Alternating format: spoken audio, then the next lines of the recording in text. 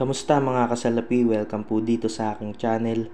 Ngayon po ay pag-uusapan natin ang mga barya na nabili ko at tinalakay ko nung nakaraang mga video ko. So ito po ay nabili ko sa halagang 15,000 pesos at isa naman pong 30,000 pesos. Cash on delivery po yan mga kasalapi. So paano nga po ba kayo makakapagbenta sa akin katulad ng mga maswerteng coin seller at banknote seller po natin ngayon. So siguraduhin nyo lang po na tapusin nyo ang video na ito para malaman nyo po ang buong detalye kung paano makakapagbenta ng mga barya at perang papel sa akin. At habang nag enjoy ka at natututo ka kung paano mangolekta ng mga barya, ay meron ka ring chance manalo ng 1,000 pesos through GCash. Kagaya na lang po ng mga nanalo ng mga nakaraan. So, meron po ulit akong isisingit na isang katanungan at ang unang tamang 50 comments ay irarapol ko ulit at 10 ang mananalo ng tig 1,000 pesos through GCash. So tapusin nyo po ang video na ito mga kasalapi at pakinggan mabuti ang aking mga sasabihin.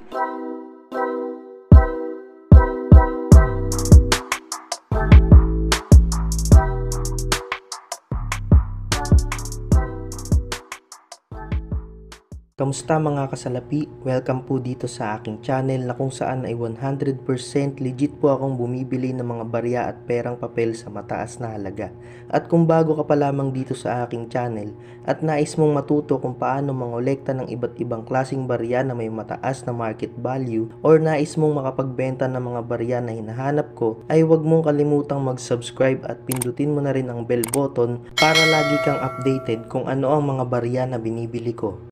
So yun nga mga kasalapi, bago po natin simulang buksan ito ay nagpapasalamat po ako sa JNT Express sa patuloy na pagbigay ng magandang serbisyo, maayos, malinis at sa mga mababait po ninyong riders. Mabuhay po kayo. At nagpapasalamat din nga po pala ako sa mga patuloy na sumusuporta at sumusubaybay kay Salapi TV, sa mga solidong kasalapi po natin, mga solid supporters.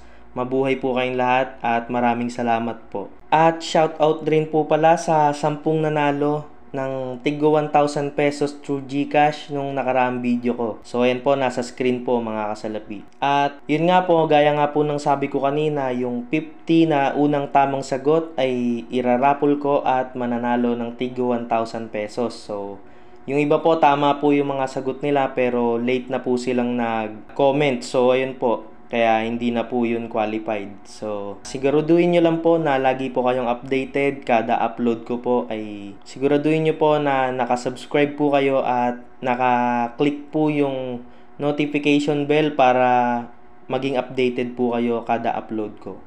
So, yun na nga po ipapakita ko po sa inyo itong GNT Expressway bill. Ayan po siya po yung nakapagbenta po sa atin ng coin. So, yun nga po yung non-nagonal 5 peso NGC po na large edge. So, siya po si Adrian Roda Navarro Jr. So, taga Mandaluyong City po siya, Barangay San Jose, P. Cruz Street. Tinakpan ko lang po yung ibang importante naming details at contact number. So, nagkakahalaga po yan ng 50, 15,000 pesos. Sorry, sorry mga kasalapi.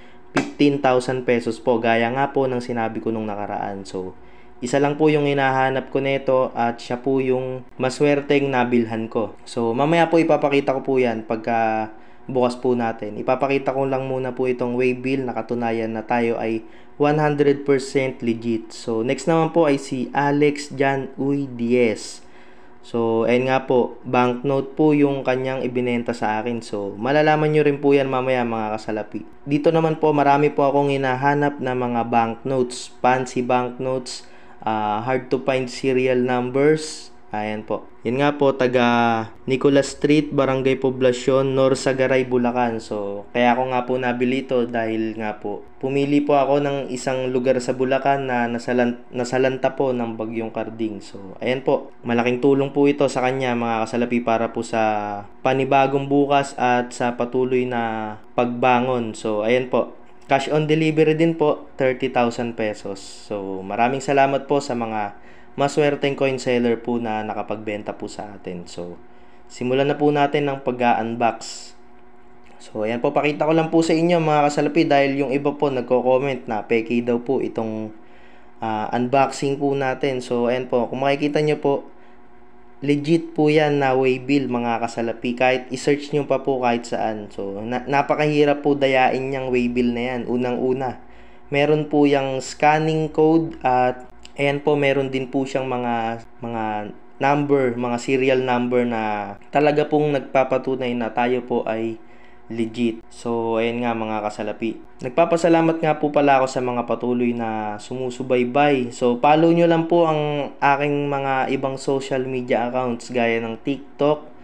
So, ayun, naban po yung TikTok po natin. Dalawang beses na po naban yung dalawang account natin. Yung bago ko pong TikTok, ayan po, i-follow nyo lang po yan sa Lapi TV at meron din po tayo sa Instagram at Twitter. So, hindi ko po masyadong nakasikaso dahil masyado po tayong busy sa mga nakaraang araw. Pero, i-follow nyo lang po ako sa akin po mga ibang social media accounts. So, unang-una po, i-follow nyo po ako sa atin pong Facebook page. So, minsan po, bago po ako mag-upload ng mga video ay nag, nagpo-post muna po ako kung anong oras po ako mag-upload ng video at i-follow nyo lang po ako dyan para malaman nyo po kung kailan po ako mag-upload ng mga video. So, ito nga po yung unang-una sa atin pong in-unbox. So, ito po ay Nonagonal NGC 5 peso coin large edge. Large edge. So, ayan po. Ipapakita ko po yan maya-maya lang. So, ayan po. Ipapakita ko po sa inyo yung edge niya. Malaki po yung edge niya mga kasalapi. so, ipapakita ko po sa inyo, itatabi po natin siya doon sa small at sa large, uh, small at medium edge na NGC year 2019. So, yan po yung tinalakay natin nung nakaraan. So, nahirapan nga po ako maghanap nito at ilalagay ko po yan sa atin pong frame. Sa para naman po sa mga hinahanap kong barya ay i-comment nyo lang po or i-message nyo lang po ako sa atin pong Facebook page na Salapi TV. So, yung link po ay ilalagay ko po sa description or yung iba naman po ay nakakapag-message na po sa atin pero hindi ko pa po nakikita yung iba. So, swertihan lamang po talaga. Ayun, libo-libo po kasi yung nagko- nagko-comment or nagme-message po sa atin araw-araw. Kaya hindi ko po lahat na re-replyan pero as soon as possible maglalagay pa po ako ng karagdagang tauhan sa ating pong Facebook page. So, ito naman po, next naman po natin, itong banknotes mga kasalapi. And po, ang dami ko nga pong hinahanap na mga banknotes ngayon. So, yung mga kakaibang serial numbers, yun po yung mga kinahihiligan kong kolektahin ngayon. So, kahit po hindi siya ma- gaanong kagandahan ng yung condition niya ay binibili ko pa rin po yan mga kasalapi. Basta, maganda po yung kanyang serial number. So, katulad na lang po nitong nabili ko. So, nagustuhan ko po agad ito nung nakita ko po sa messenger po natin. So, ipinagpaalam po ko po agad sa boss natin kung bibili po tayo nito. So, syempre, meron po tayong mga boss eh. Meron po tayong boss sa UAE, sa... Yan po, hindi ko na po babanggitin yung ibang boss po natin, mga sponsor po dito sa atin pong channel. So, maraming salamat po sa mga boss po natin. So, ayun nga po, masyado nang pong mahaba yung video na ito kaya lalagyan ko po ulit ng part 2 mga kasalapi. So, ipapakita ko po sa inyo lahat para malaman nyo po kung ano-ano po yung mga banknotes o serial numbers na hinahanap ko. Isasabay ko na po dyan yung mga nonagonal po natin, ipapakita ko po doon kung ano po yung pinagkaiba ng mga edge.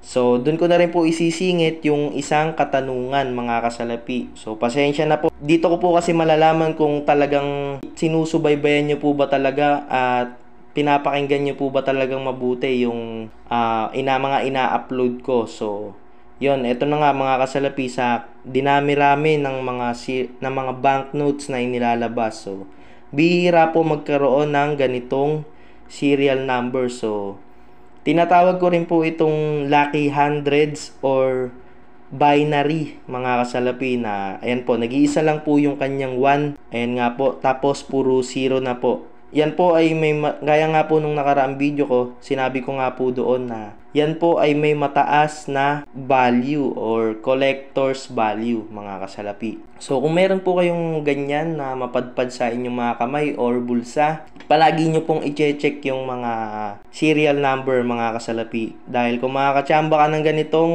serial number ay sigurado mapapalitan niya ng karampatang presyo or value. Mataas kasi ang value nito mga kasalapi. Sana pinapakinggan nyo po at iniintindi nyo pong mabuti. At sana po ay maliwanag po ang aking pagkaka-discuss ngayon mga kasalapi. So, ayan, ayan po yung nabili ko ngayon.